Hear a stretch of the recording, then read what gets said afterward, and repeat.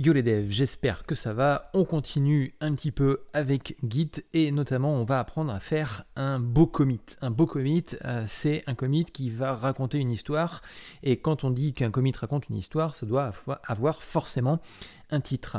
Donc pour le coup, euh, ce que je vais te montrer, c'est euh, la façon dont tu peux rédiger tes commits.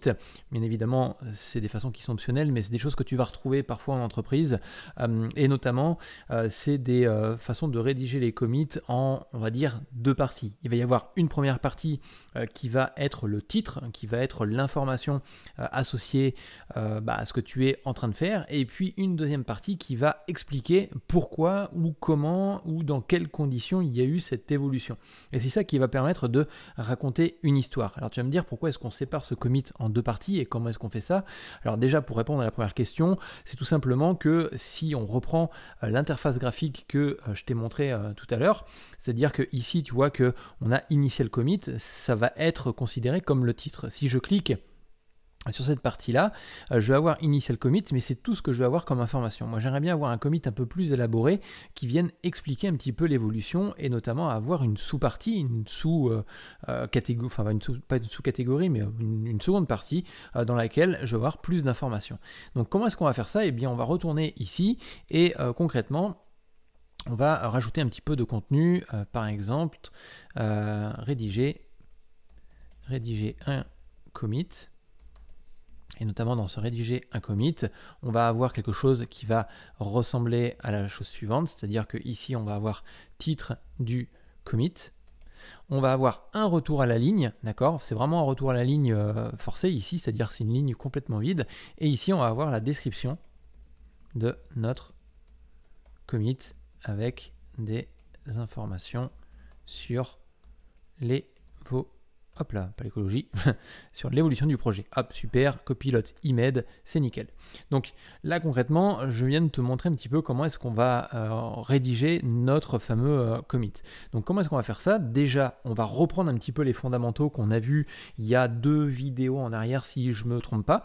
Euh, c'est-à-dire qu'on va essayer de recadrer tout ça, on va essayer de eh bien committer toutes ces informations là, mais avant de committer, il faut rajouter, alors là on va commencer à parler un petit peu technique, hein, il faut rajouter dans le stage, dans le suivi, euh, les différentes informations que l'on doit committer. Donc on va déjà commencer comme d'habitude par faire un git statut pour regarder un petit peu l'état de notre repo. Alors là on voit qu'il n'y a pas énormément euh, d'évolution, énormément d'informations, mais c'est pas grave, ceci étant dit, il faut quand même passer par cette étape-là pour savoir ce que l'on veut committer.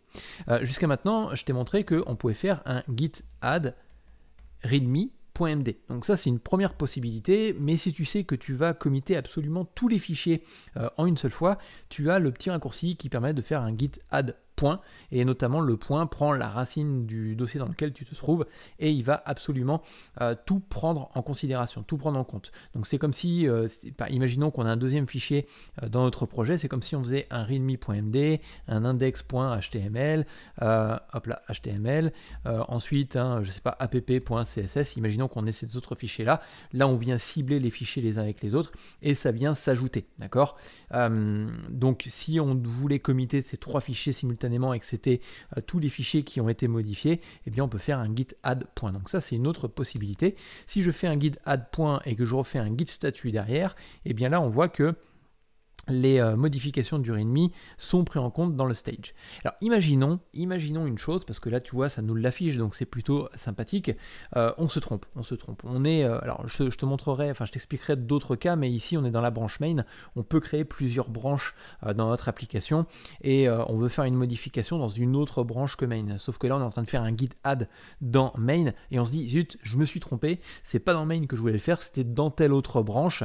On n'a pas vu encore comment naviguer dans les branches, mais peu importe. Donc du coup, j'aimerais bien retirer cet ajout euh, dans le stage de cette branche spécifique. Et eh bien là, tu peux faire un git restore stage hop, stage euh, et notamment tu vas chercher les fichiers qui t'intéressent ou euh, tu peux faire un point, ça fonctionne aussi. Si je fais ça, alors hop là, si je fais ça, et que je refais un git status derrière, tu vois que mon fichier euh, est dans le même état euh, que ce que l'on avait initialement avant de faire le git add. Donc tu as la possibilité de, hop, de switcher euh, avant en arrière. Ça c'est avant d'avoir commité, d'accord? Si tu as commité, tu ne pourras pas faire ça. ça sera d'autres étapes, d'autres fonctionnalités. Donc là pour le coup, ce que je vais faire, c'est que je vais faire un git add point parce que c'est le seul fichier, d'accord? Je vais faire un git status pour voir un petit peu l'évolution. Effectivement, ça a été pris en compte et maintenant je vais commiter euh, mon, euh, comment dire, euh, mon, ma modification. Donc je vais faire un git et là je vais faire un git commit, d'accord? Je vais faire un git commit qui va me permettre d'ouvrir le fameux IDE, pas le fameux IDE, mais le fameux éditeur de texte en ligne de commande. Je vais appuyer sur la touche I pour insérer des informations dans mon comment dire dans, dans, mon éditeur et ici je vais mettre le titre de mon commit. Alors le titre du commit, eh bien euh, concrètement ici c'est ajout euh, de procédure. Donc là concrètement c'est mon titre, c'est un ajout de procédure. On a rajouté une procédure supplémentaire dans notre petite doc readme.md là d'accord? Ici je vais faire un retour à la ligne avec euh, une nouvelle ligne et ici je vais mettre explication de comment rédiger commit.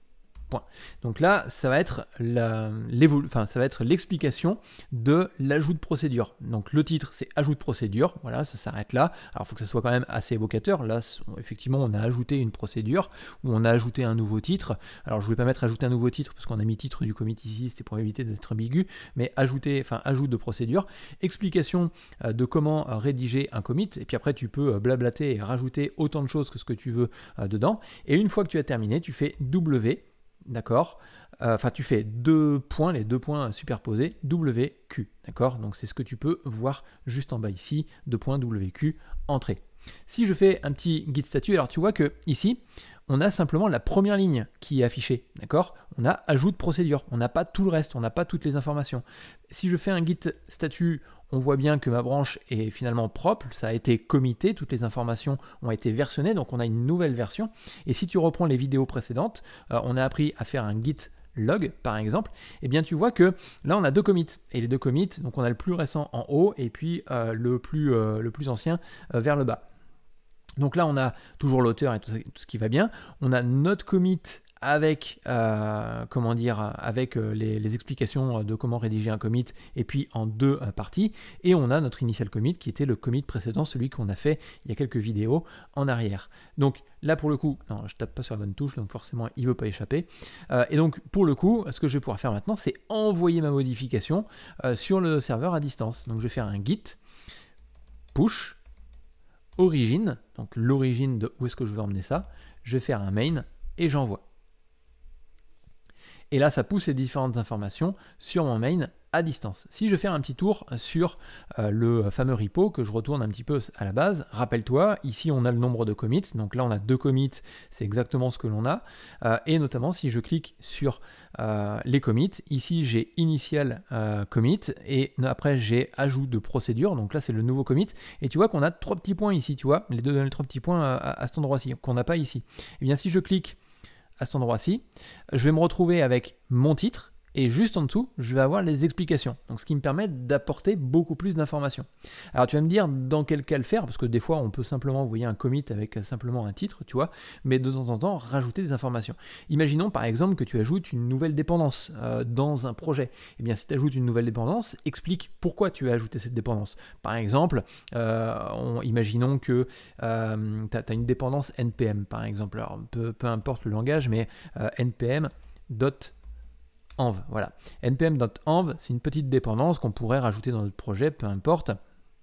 Euh, qui permet justement euh, de récupérer les fichiers qui, euh, des fichiers de configuration qui sont en .env et puis de les injecter dans le projet. Donc là concrètement, si j'ajoute cette dépendance là, eh bien je vais créer un nouveau commit, ou tout moins je vais ajouter cette dépendance, je vais faire ma petite configuration et puis après je vais ajouter un nouveau commit en mettant en titre ajout de .env et puis juste en dessous en second en description, donc avec un retour à la ligne et puis en description, eh bien je vais expliquer pourquoi j'ai ajouté .env parce que dans mon projet, je vais avoir besoin de mettre en place des configurations spécifiques en fonction de différents environnements. Et pour le coup, cette librairie permet très largement de faire l'affaire. Donc c'est comme ça que tu vas pouvoir faire les choses. On va faire un autre petit test à ce niveau-là. Si je fais un git log. Euh, ici, on voit que j'ai mon head main et j'ai mon origin. Euh, et notamment tout à l'heure, je ne sais pas si tu te rappelles, on avait le origin dans un second temps. On va faire un, petit, euh, on va faire un petit, un petit élément comme ça. je vais rajouter, bah tiens, envoyer un commit à distance. Ça va être donc git add. Ensuite, ça va être un git commit ou titre m, enfin le, le titre m et git push origin master. Alors il est un peu en retard, ça sera main et euh, ici donc git commit, euh, titre du commit. Voilà. Donc là concrètement c'est une nouvelle modification que je viens de faire. Si je fais un git log à cet endroit-ci, alors là pour l'instant il ne se passe rien, il faut juste faire un git status derrière. Ce git status ça me donne euh, l'état actuel de ma modification. Je fais un git add point. Je fais un autre git statut, on va voir qui va passer en vert et qui va être ajouté au stage, d'accord? Et je vais faire un git commit. Alors là, je ne vais pas faire un commit comme on a appris à le faire précédemment, je vais utiliser la méthode "-m" parce que bah, pour le coup, euh, ça se prête plutôt bien. Et euh, là, euh, concrètement, je vais mettre exemple de add. Voilà. Et je vais faire un git statut maintenant. Donc là, mon travail est propre et si je fais un git log à cet endroit-là, tu vois que Ici, alors c'est ça la petite euh, différence, c'est que ici ça me dit que l'origine c'est main, d'accord? Donc c'est à dire que mon commit a été envoyé sur origin main, donc a été envoyé en ligne. Et donc notamment ce commit là est disponible sur notre repo à distance. D'ailleurs c'est celui-ci euh, que l'on a actuellement. Et si tu regardes dans le git log, à cet endroit-ci on a un head euh, qui pointe vers main. Ce qui veut dire que le commit courant. Là, on vient de committer un nouvel élément qui est dans la branche main. Donc ce commit est bien dans la branche main, mais par contre, il reste en local. Il n'a pas été poussé en ligne. Donc là, tu as des petites informations supplémentaires dans le git log. C'est pour ça que je te l'ai présenté dans les vidéos précédentes, euh, qui te donnent des informations supplémentaires en disant attention, ton euh, commit, ou tout du moins ce que tu viens de committer, n'a pas encore été poussé sur origine. Donc tu vois, ici, euh, tu peux, comment dire, tu peux prendre, tu peux prendre ces informations-là en compte. Et notamment si je fais un git push origine main maintenant. Donc ça va me pousser mes informations directement sur mon repo à distance et que je refais un git log. Tu vois que ici, donc je pointe toujours sur main parce que mon, pointeur est sur la branche main, d'accord? Mais en même temps, euh, eh bien, euh, la branche a été poussée à distance. Donc ça te donne pas mal d'informations, ces petites choses-là, et euh, concrètement, ça te permet de comprendre bah, dans quel état se trouve ton, ton projet. Donc là, pour le coup, ce que l'on a vu dans cette vidéo, c'est un, bah, des, petites, des petites commandes supplémentaires quand même, parce que ça, il faut le savoir, mais concrètement, on a surtout vu comment rédiger euh, un bon commit, et notamment rédiger un commit avec un titre, le retour à la ligne. Donc le retour à la ligne, il est important parce que c'est ça qui permet de faire la, séparation entre les deux. Et puis en même temps, euh, d'avoir une description bien particulière du commit euh, pour pouvoir raconter une histoire et voir qu'il y a une évolution au niveau bah, justement de, des différentes versions de ton projet. En tout cas, j'espère que tu as apprécié et je te dis à plus tard.